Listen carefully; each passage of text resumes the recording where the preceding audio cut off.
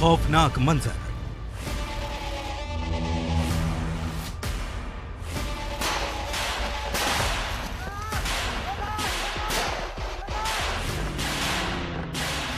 थर्रा देने वाली खून से सनी वो दास्तान। दस साल बाद भी जिसके घाटी में ही दफन है राज। सबसे बड़ा राजनीतिक हत्याकांड। जब लाल आतंक ने मचाया तांडव, कांग्रेस की फ्रंट लाइन पर अटैक। चुनाव के चंद महीने पहले सबसे खतरनाक साजिश।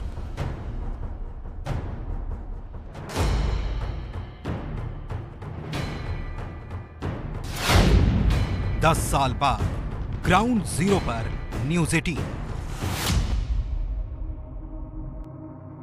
2013 चुनावी साल। मई की तपती दोपहरी मैदान में उतरकर पार्टी के लिए जमकर पसीना बहाते कांग्रेस के नेता।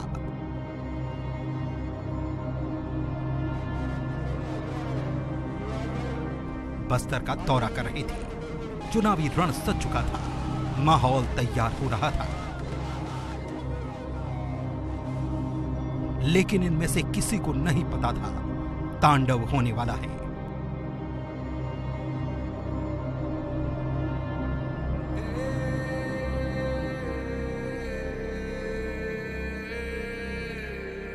पच्चीस मई 2013 जब तपता सूरज उतरने को तैयार हो रहा था, झीरम घाटी लाल आतंक के तांडव से थर्रा उठी।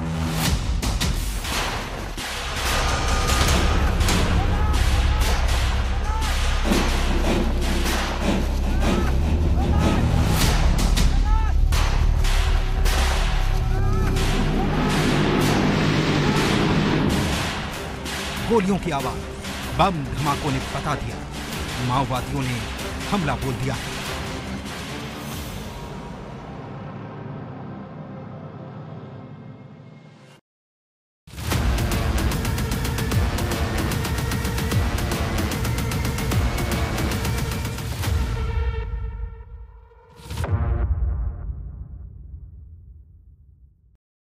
पच्चीस मई 2013 देश का सबसे बड़ा राजनीति हत्या, जीरम कांड।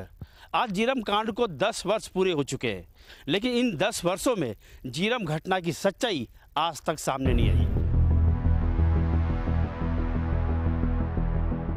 मई के आग उगलते महीने में तपती दोपहर को सत्ता में वापसी के लिए सुकमा में डटे थे कांग्रेस के नेता।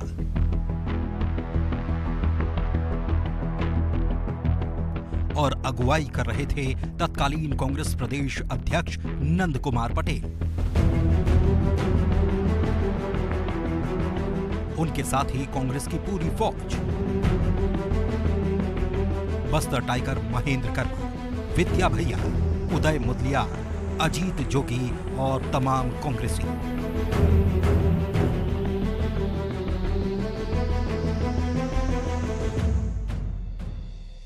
सूबे में काबिज बीजेपी की सत्ता को बदलने के वास्ते कांग्रेस निकाल रही थी परिवर्तन यात्रा। लेकिन 25 मई 2013 को आग बरसाता सूरज जब ढलने की तैयारी में था, तब कांग्रेस का यह काफिला सुकमा से वापसी में था। और फिर झीरम की घाटी में दाखिल होते ही अचानक शुरू हो गया खूनी तांडव।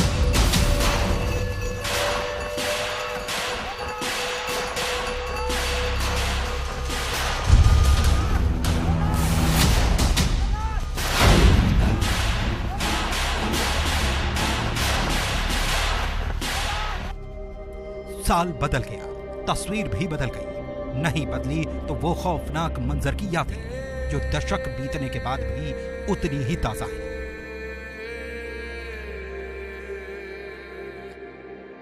क्या था पूरा घटनाक्रम परिवर्तन यात्रा सुकमा से निकली थी और इस जीरम घाट में पहुँची थी। हमारे साथ मौजूद है जो जीरम घाट में जो अपने आप को बचा के आया है, मलकेश सिंह गैदू। इनसे पूछते हैं कि घटना क्या थी और ये कब यहाँ पहुँचे थे और इनका काफिला कैसे फंसा था? घटनाक्रम 25 मई 2013 की जो शाम थी, खौफनाक शाम, हम लोग सुकमा की परिवर्तन यात्रा को, सभा को समाप्त करके, सारा लोग लंच करके वहाँ से हम नंद कुमार पटेल जी तत्कालीन प्रदेश अध्यक्ष और महेंद्र कर्मा जी विद्याचरण शुक्ल जी, उदय मुदलियार जी फूलोदेवी नेताम जी तमाम सब लीडर जो सारे लीडर थे, हमारा काफिला जो है, सुकमा से निकला। सुकमा से निकल के सवा चार, साढ़े चार बजे करीब जो काफिला है, ये यहाँ पहुँचा। यहाँ से दो टर्निंग पहले हमारी गाड़ी में, क्योंकि क्योंकि मेरी गाड़ी में मैं ड्राइविंग कर रहा था और मेरी गाड़ी में मेरे साथ जो हमारे महेंद्र कर्मा जी हैं, वो बैठे हुए थे मेरे बाजू में और पीछे हमारे कई वरिष्ठ नेता बैठे हुए थे।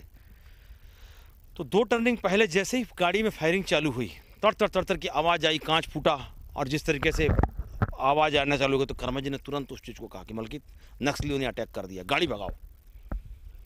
मैं भी घबरा गया जिस तरीके से था गाड़ियाँ पट पट पट पट पट पट जिस तरह से गोलियाँ चल रही थी, पड़ा बहुत अंधाधुन गोलियाँ चल रही गोलियाँ चलते मैंने गाड़ी को भगाने की कोशिश की। मैंने गाड़ी भगाने की कोशिश की तो भगाने की कोशिश की तो ये जो स्पॉट है, यहाँ स्पॉट में, आगे यहाँ पे जो है ब्लास्ट हुआ ब्लास्ट होने के बाद यहाँ एक ट्रक खड़ा करके आड़ा कर दिया गया था। तो चूँकि नंद कुमार पटेल जी की गाड़ी सामने थी और उसके पीछे जो है हमारी गाड़ी थी, कर्मा जी की गाड़ी थी, उसके पीछे हमारी विद्याचरण शुक्ल जी की गाड़ी थी। इस तरीके से काफिला था।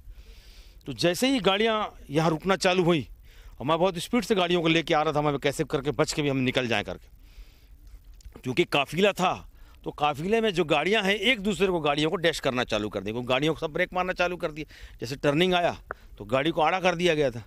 तो एक दूसरे गाड़ी, हमारी गाड़ी भी पीछे डैश मारी। डैश मार के गाड़ी खड़ा किया तो कर्मा जी ने तुरंत कहा कि गाड़ी से कूद जाओ और नीचे लेट जाओ। वो भी उनका एक अनुभव आज हमारे लिए जो है, आज हम जीवित अगर हैं तो उनका ही कोई अनुभव था। उन्होंने कहा कि जो गाड़ी से कूद जाओ और नीचे लेट जाओ। क्योंकि गाड़ी के अंदर जितने लोग बैठे थे, आज हमारे उसमें से कई नेता आज शहीद हो गए चूँकि गाड़ी में बैठे हुए थे। वो भी कहीं लेट जाते कुछ बात होती तो क्या मालूम उनका भी जीवन बच सकता था। तो इस प्रकार से अंधाधुन गोलियाँ जिस प्रकार से चल रही थी तो यहाँ पे जो थी, यहाँ नंद कुमार पटेल जी की गाड़ियाँ थी, यहाँ लखमा जी, नंद कुमार पटेल जी यहाँ से जो है सिलेंडर करके उनको जो है अंदर ले जाया गया। अंदर ले जाने के बाद फिर पुनः पुनः फायरिंग चालू हुई, क्योंकि लखमा जी ने गोंडी में बातचीत की और जो है फायरिंग रुकी। और उस समय नंद कुमार पटेल जी और नंद कुमार पटेल जी के लड़के को और उनके पी को जो यहाँ से जो है उनको हाथ बाँध के पीछे ले जाया गया। उसके बाद जो है फिर टोटल फायरिंग चालू हो गई। तर तर तर तर फायरिंग चालू। फिर यहाँ पे जो है बम गिरा। बम उन्होंने फेंका। बम गिरा, लेकिन बम वो जो है फूटा नहीं। ये तो हम लोग सब कितने लोग का घेरा में कितने लोग उड़ते पता नहीं। बम फेंका गया, बम उड़ा नहीं। और उसके बाद जो है अंधाधुन फायरिंग चालू में जो है महंत कर्मा जी खड़े हुए। महंत कर्मा जी ने खड़े हो कहा कि मैं महंत कर्मा हूँ। फायरिंग मत करो। फायरिंग रोक दो। और फायरिंग मत करो। तो उस समय फायरिंग रुकी। फायरिंग रुकने के बाद सामने फूलो देवी नेताम जी और हमारे महंत कर्मा जी और उसके साथ जो मेरा ड्राइवर था बिट्टू, उसको मैंने खड़ा किया कि महंत कर्मा जी खड़े हो गए बिट्टू तू खड़ा हो जा और सरेंडर कर दे, क्योंकि मुझे डर था कि मुझे भी कहीं पहचानते हो तो मुझे नुकसान ना हो जाए। तो मैंने ड्राइवर खड़ा किया। तो ड्राइवर भी है मेरे साथ में खड़ा हुआ। तो महंत कर्मा जी और मेरे ड्राइवर बिट्टू और फूलो देवी नेताम जी को है यहाँ से ले जाने के बाद सौ मीटर जो है, पीछे जो है, वहाँ पर ले जाया गया। और ले जा के जो है, पीछे में रखा गया उनको, फिर हम लोगों ने जो है उसके बाद फिर फायरिंग चालू हो गई। फिर फायरिंग चालू होने के बाद जो है तीसरे में जो मैंने सिलेंडर किया, मैंने कहा, भाई, मैं ड्राइवर हूँ, मैं हाथ खड़ा कर रहा हूँ, आप गोली मत चलाओ, सब सिलेंडर कर रहे हैं सिलेंडर सिलेंडर जितनी ताकत से चला सकता था, क्योंकि अंदर दिन हमको बचने को चांस दिख नहीं रहा था। हमको लग रहा था कि अंदर दिन फायरिंग में हम, कितने लोग हमारे सामने, हमारे जवान खत्म हो रहे हैं, किसी को गोलियाँ लग रही किसी को कुछ लग रहा किसी का हाथ उड़ रहा है, किसी का जांग। मतलब क्या बताऊँ आपको, मंजर जो है अब मैं ग्राउंड ज़ीरो में आके फिर खड़ा हूँ। आज वो दिन मुझे याद आता है तो मुझे बड़ा हुई पीड़ा उस चीज़ को होती है और मैं कई बार दहशत में कई रात सो नहीं पाया था उस समय में। तो जो है, हम लोगों को तीसरा सिलेंडर में हम लोग जब गए तो हम लोग जाने के बाद पीछे जब ले गए तो हमको वहाँ पे सब लोगों को जो जितने लोग सिलेंडर किए थे, हमको उल्टा लेटा दिया गया। और उल्टा लेटा के एक एक चीज़ का आइडेंटिफाई किया वाकी टाकी पकड़े हुए थे, सब बात कर रहे थे, महिलाएँ थी, ए के फोर्टी सेवन पकड़ी थी, कोई इंजेक्शन लगा रहा था, कोई कुछ कर रहा था, कोई पानी पिला रहा था किसी को। मतलब उनका था कि उनके भी जो लोग घायल हुए थे उनको इंजेक्शन लगा रहे थे और जिस प्रकार कर रहे थे तो उसमें से हर्षद मेहता जी एक बहुत बुज़ुर्ग थे। तो मैंने, उनको भी जो है, मैंने कहा कि भाई, बहुत बुज़ुर्ग हैं और इनका मतलब इनको भी इंजेक्शन लगा दीजिए, आप इंजेक्शन पकड़ा था हाथ में महिलाओं ने। तो उन्होंने कहा कि नहीं नहीं, हमारे लोग घायल हम किसी को इंजेक्शन लगाएँगे नहीं। और उस प्रकार से उल्टा लेटाने के बाद जो है, हम लोगों ने बहुत सोचा कि हम लोग निर्दोष हैं, हम लोग को ऐसा लगा कि हम ख़त्म होना है। हमको अब हमको उल्टा लेटा दिएगा हम गोली से हमको भून दिया जाएगा। हम लोगों ने फिर जो है निवेदन किया और हमारे सामने जो है कर्मा जी को आइडेंटिफाई किया गया, क्योंकि कर्मा जी हमारे पहुँचने के पहले कर्मा जी को मार दिया गया था, को ख़त्म कर दिया गया था। फिर हम लोग आइडेंटिफाई किया, ये कर्मा तुम्हारा लीडर है। हमने कहा भी हमारा ये कर्मा लीडर उसके बाद जिस प्रकार से संगीत सहाय जो बोलते हैं, बट जो होते हैं, बट के पीछे जो चाकू लगे होते हैं, उस प्रकार से कर्मा जी के जो है बॉडी को जिस प्रकार से गोदा गया और जिस प्रकार से उसको सामने ऊपर नाचा गया जिस प्रकार से हमारे सामने मंजर हमने देखा है, वो बड़ा ही दुखदायी मंजर था, क्योंकि हमारे लीडर थे, हमारे प्रिय नेता थे वो, और वो भी जो है इस प्रकार से चले गए थे। ये पूरा जो एम्बुश था माओवादियों का लगभग एक किलोमीटर के ऊपर से अधिक एम्बुश लगाए गए थे, और ऊपर जो देख रहे हैं आप, यहाँ पर पूरे माओवादी लीडर, उनके जो कैडर के लोग थे, वो ऊपर से फायरिंग कर रहे थे लगातार, और उसी दौरान जो परिवर्तन यात्रा का जो काफिला आता है, उस पर फायरिंग होती है। करीब एक किलोमीटर का एम्बुश। ए के सैतालीस जैसे हथियारों से धुआंधार फायरिंग 300 से ज़्यादा माओवादियों की मौजूदगी और इस सब के सामने यात्रा में मौजूद सुरक्षाकर्मी कुछ भी नहीं थे। हमले के बाद एक एक का नाम पूछकर माओवादी उनको टारगेट कर रहे थे। हाँ इस कांग्रेस की परिवर्तन यात्रा के काफिले में आगे चल रही एक कार एम्बुश से ज़रूर निकल चुकी थी। सबसे पहले हम लोग यहाँ से जब वो काफिला आ रहा था, हमारे पूरे नेता कुलों का तो हम लोग छिनगढ़ जा रहे थे। रास्ते में अचानक पता चला कि उनका काफिला निकल चुका है तो हम लोग ने वापस गाड़ी मोड़ा। और जैसे ही गाड़ी मोड़ा है, वैसे ही हम लोग के सामने से एक गाड़ी ब्लास्ट होते हुए दिखी हमको। सबसे पहले जो गाड़ी ब्लास्ट हुई, और उसके बाद फायरिंग चालू हो गया। फायरिंग में गोलियाँ बहुत तेज़ी से आ रही थी, लगातार। जिसमें सबसे पहले गोपी, मेरी गाड़ियों में मैं गाड़ी चला रहा था। मेरे साथ ईश्वर खम्बारी गोपीनाथ माधवानी थे, जिसमें गोपीनाथ माधवानी को पहली गोली लगी, उसके बाद मुझे गोली लगी। लेकिन लगा आते आते हम लोग गाड़ी लेकिन निकाले जैसे तैसे भी गाड़ी को लेके आए और दरभा में आकर हमने पुलिस थाना में कंप्लेंट भी दर्ज कराई। सड़क किनारे से महेंद्र कर्मा और जो तमाम नेताओं को माओवादी अपने साथ जब सरेंडर करने की बात आई तो सरेंडर करते हुए उनको जंगल की ओर ले गए। आगे जो स्पॉट है, दिखाना चाहूँगा मैं कि ये जो इलाका है, यहाँ से यहाँ से महेंद्र कर्मा जी आगे आगे बढ़े। माओवादी उनको ले गए थे और कुछ दूरी पर ही उन लोगों को, जिन जितने तमाम जो नेता हैं कांग्रेस के, जो सरेंडर कर चुके थे, उनको बैठा दिया गया। ये ये ये वही इलाका है जहाँ पर महेंद्र कर्मा की हत्या की गई थी। राजीव नारंग तो आगे निकल गए, लेकिन बाकी नेता एम्बुश में ही फंसे रह गए। पहले सबने सरेंडर किया और फिर नक्सली उन्हें पहाड़ी पर जंगल की तरफ़ ले गए। 25 मई 2013 जीरम घटना का जो ये जो जगह है यहाँ हम पहुँचे हैं। न्यूज़ न्यूज़ एटीन की टीम पहुँची है और ये इलाका वही है। सड़क से अ, कर्मा जो और उनके साथ जितने जो कांग्रेस के नेता थे उनको सरेंडर करवाया गया और इस जगह महेंद्र कर्मा और सभी लोगों को लाया गया। उनको सुला दिया गया यहाँ पर और सभी को ये कहा गया कि सो जाइए लेट जाइए। हमारे साथ मलकी जी भी है उनसे भी चर्चा करते हैं कि इस घटना इस यहाँ का स्थिति का बताए क्या हुआ था? ये ये वो स्थल है, जहाँ से अंदर से रोड मैप से अंदर हमको लाया गया। जब हमने सिलेंडर किया तो सिलेंडर करने के बाद यहाँ लाया गया। और ये जगह जो है, यहाँ पे हम लोगों को सबको उल्टा लेटा दिया गया।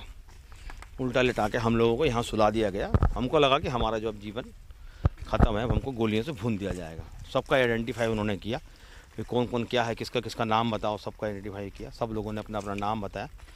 जैसे हम लोग भी, हमसे भी पूछा गया तो हमने अपना नाम गलत बताया।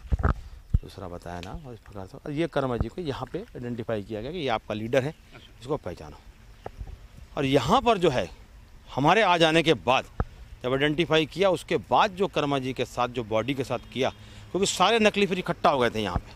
कितनी संख्या में करीबन तीन चार सौ की संख्या में रहे होंगे पूरे कंप्लीट भाई आधा पौने कट आधा किलोमीटर का कम से कम एम्बुश था। तो उसमें तीन चार सौ के लगभग तो नक्सली रहे होंगे हम यही कह सकते हैं। क्योंकि उसमें महिलाएँ भी थी। महिलाएँ नक्सली बहुत हम उसमें थी हम लोगों ने देखा जैसे। हम लोगों ने उनसे बातचीत भी की दीदी हम लोग निर्दोष हैं हम लोग को मत मारिए।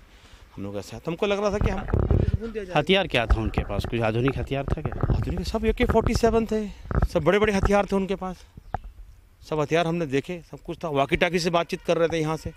मिशन की बात कर रहे थे जहाँ उधर था उधर नंद कुमार पटेल जी का मिशन हुआ कि नहीं हुआ वो भी हम सुन रहे थे। इधर हमारा मिशन पूरा हुआ जो बातचीत कर रहा था वाकी टॉकी से। बाकी टाकी से जिससे बात करते, कौन होंगे वो लोग? बड़े नेता नक्सली नेता संपर्क कर रहे थे शायद, जो यहाँ के वो तो भाई बड़े नेता ही होंगे, क्योंकि मैं तो पहचान नहीं पाऊँगा कौन कैसा थे, कौन नक्सली क्या था, क्या नाम था। अब इतने बड़ी संख्या में वो लोग क्या उपस्थित हुए थे? और कर्मा जी की बॉडी का जिस प्रकार से गुदागदी कर रहे थे और जिस प्रकार से नाच गाना कर रहे थे, खुशियाँ मना रहे थे तो ये तो हम उस दिन को देख के दिल दहल जाता है हमारा। आज जीरम घटना के पूरे दस साल पूरे हो गए एक दशक हो गया। जीरम का जो सच क्या लग रहा है? बाहर कभी आ पाएगा? सच देखिए ऐसा है कि अगर सही जाँच होती है निष्पक्ष जाँच होती है जैसे एन ने जाँच की हो तो खाना पूर्ति करके अपना चले गए। जैसे भूपेश बघेल जी ने हमारे मुख्यमंत्री जी ने अभी एसआईटी की बात की और वो सीरियस इस मामले में कि सच उजागर होना चाहिए। दस साल बीत जाने के बाद भी झीरम घाटी हमले का सच अब तक बाहर नहीं आ सका है। तत्कालीन डॉक्टर रमन सिंह की सरकार ने 2013 में ही न्यायिक जाँच आयोग का गठन कर दिया। 2019 तक चली जाँच, जस्टिस प्रशांत मिश्रा ने पूरी की और जो रिपोर्ट सरकार को पेश की, उसमें असहमति जताते हुए कुछ बिंदु और जोड़े गए और सुनवाई बिलासपुर में जारी है। राज्य पुलिस के वरिष्ठ अफसरों समेत राज्य के नामचीन नेताओं को मिलाकर 50 से ज़्यादा लोगों के बयान हलफनामा के ज़रिए दर्ज किए गए। लेकिन सुनवाई अब तक पूरी नहीं हो पाई। इसके बाद देश की सर्वोच्च जाँच एजेंसियों में से एक, एनआईए ने चार सालों तक पड़ताल की और कई लोगों को आरोपी भी बनाया गया। बावजूद, एनआईए भी अब तक नहीं बता पाई कि आखिर झीरम हमले को अंजाम देने वाले वो कौन लोग थे जिन्होंने पर्दे के पीछे से भूमिका निभाई थी। लेकिन इस वारदात में अपनों को खो चुके कांग्रेसी आज भी अपनों को याद करते हुए भावुक हो जाते हैं। और इस घटना में जो भी लोग दोषी हैं उन्हें सजा की मांग करते हुए घटना का सच बाहर लाने की मांग करते हैं। उन्हें विश्वास है कि एक न एक दिन सच ज़रूर बाहर आएगा। चाहते हैं कि जो घटना हुई लोगों को सजा होना चाहिए ताकि न्याय हमको मिलेगा। आपने यहाँ की मिट्टी का तिलक भी लगाया।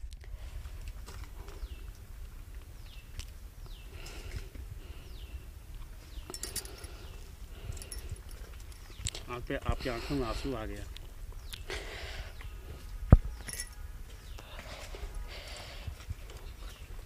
आज मैं जो कुछ हूँ शहीद महंत कर्मा जी के आशीर्वाद से हूँ। मेरे परिवार, चाहे मेरा ससुराल हो, चाहे मेरा मैके हो, कोई राजनीतिक लाइन में नहीं है, राजनीतिक में नहीं है। उन्होंने मुझे एक बहन का सम्मान, एक बेटी का सम्मान दिया। और मुझे अपने बेटी के जैसे पूरे बस्तर संभाग में ले कर के गए और मैं उनके कारण से ही राजनीतिक में आई। झीरम का यह हमला कांग्रेस के उन नेताओं पर किया गया था जो उस वक्त फ्रंट लाइन लीडर्स में गिने जाते थे। तत्कालीन प्रदेश अध्यक्ष नंद कुमार पटेल, विद्याचरण शुक्ल, महेंद्र कर्मा, उदय मुतलियार समेत सुरक्षा बल के जवानों को मिलाकर कुल 32 लोगों की हत्या की गई थी। लेकिन 10 सालों के बाद भी माओवादियों के इस नृशंस, थर्रा कर रख देने वाले खौफनाक तांडव के पीछे का खेल उजागर नहीं हो सका। अलबत्ता सियासत खूब होती रही, जो अब भी जारी है। लगातार हमारा सरकार ने हम लोग एस गठन किया।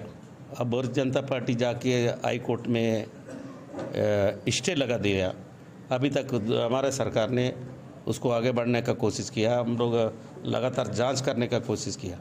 भारतीय जनता पार्टी लगातार रोकने का काम कर रहा है। क्यों कर रही है दादी? क्यों कर रहा है? उनसे पूछो। तो सच बाहर कवासी लखमा जी ले आए। कवासी लखमा जी तो स्वयं उस घटना में थे और उनके उनको चलता फिरता मोटरसाइकिल मिल गया बिना उसके तो इससे बड़ा घटना और क्या हो सकता है? और हम तो मांग करते हैं उनको नार्को टेस्ट किया जाए और उन वो असलियत बताएँ कौन लोग ऐसे हैं जो इस तरह की घटना को अंजाम दिए? आरोप प्रत्यारोप के दौर के बीच सच्चाई यही है कि अब भी पीड़ितों को झीरम के सच के बाहर आने का इंतज़ार है। 25 मई 2013 जीरम घटना आज 10 साल पूरी हो गए हैं और 10 साल के बाद इस घटना की सच्चाई तो सामने नहीं आई है लेकिन ये है घटना को लेकर यहाँ पे एक शहीद स्मारक बनाया गया है। जहाँ पर जितने तमाम जो नेता शहीद हुए थे और जो जवान शहीद हुए थे उनकी तस्वीरें लगाई गई है ताकि याद रहे कि जरम घटना कितना भयावह स्थिति थी। आप मेरे पीछे देख सकते हैं यहाँ तमाम जो नेता हैं शहीद उद, उदय मुदलियार शहीद विद्याचरण शुक्ल शहीद नंद कुमार पटेल और बस्तर टाइगर शहीद महेंद्र कर्मा। सहित तमाम जो नेता हैं और जो जवान हैं उनकी तस्वीरें हैं। इस जीरम घाटी शहीद स्मारक बनाया गया है। और ये बात तो तय है कि ये घटना होने के आज 10 साल पूरे हो चुके हैं और इस 10 साल में सरकारें भी चाह रही है, आम जनता भी चाह रहा है छत्तीसगढ़ वासी भी चाह रहे हैं कि इस घटना की सच्चाई बाहर आ सके और लोगों को पता चल सके कि आखिर घटना के पीछे कौन जिम्मेदार था। श्रीनिवास नायडू, न्यूज़ एटीन जीरम घाटी, दरबार।